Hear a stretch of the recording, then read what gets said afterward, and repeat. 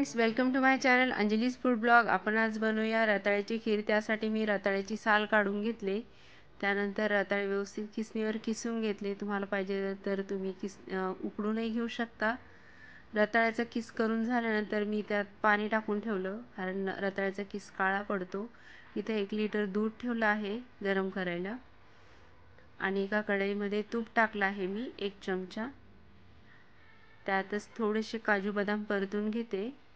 काजू बदाम नसतील तर तुम्ही खोबरेही घालू शकता. अगदी दोन मिनटासाठी फक्त काजू बदाम परतून झाले आहे. नंतर मी काढून घेतले एका प्लेटमध्ये. रताळ्याचा किस जो मी पाण्यात टाकला होता त्यातलं पाणी पूर्ण काढून घेतलं आणि त्यानंतर रताळ्याचा किस त्याच कढईमध्ये टाकला. व्यवस्थित परतून घ्यायचा एक दोन मिनटासाठी.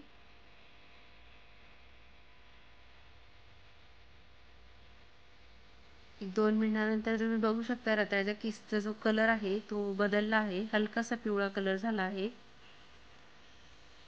आता मी यामध्ये उकळून घेतलेलं दूध घातलं आहे. माझ्याकडे गाईचं दूध होतं. तुमच्याकडे म्हशीचं असेल तर नक्की घाला कारण म्हशीच्या दुधाची खीर अजून घट्ट होते छान. पूर्ण दूध घातलं आहे. मी एक लिटर दूध जवळपास अर्धा लिटर झालं होतं उकळून. जेवढं घट्ट दूध घातलं तेवढी खीर छान होते. मिक्स करून घेतले व्यवस्थित. तीन मिनटानंतर खिरीला उकळी आली आहे. त्यामध्ये मी अर्धी वाटी साखर घातली आहे.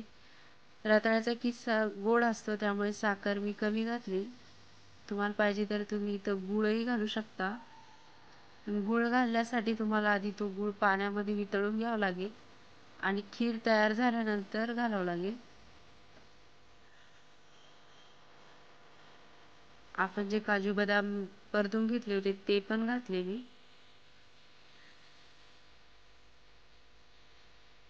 मिक्स करून घेतले व्यवस्थित.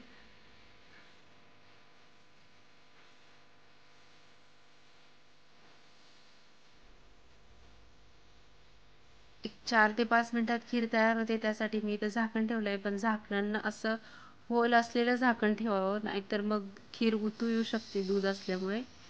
किंवा मग एखादी प्लेट ठेवायची पण त्यात चमचा ठेवायचा आणि मग झाकण ठेवायचं. पाच मिनटं झाली आहेत पाच मिनटामध्ये खीर छान शिजवून झाली आहे.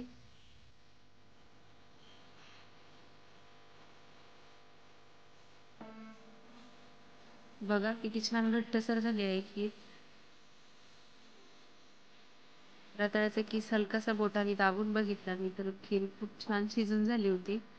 त्यानंतर मी घेतले एक बाऊल आणि आता खीर सर्व करायची वेळ झाली आहे. खरं तर ही खीर अगदी थंड करून खायची. खूप छान लागते.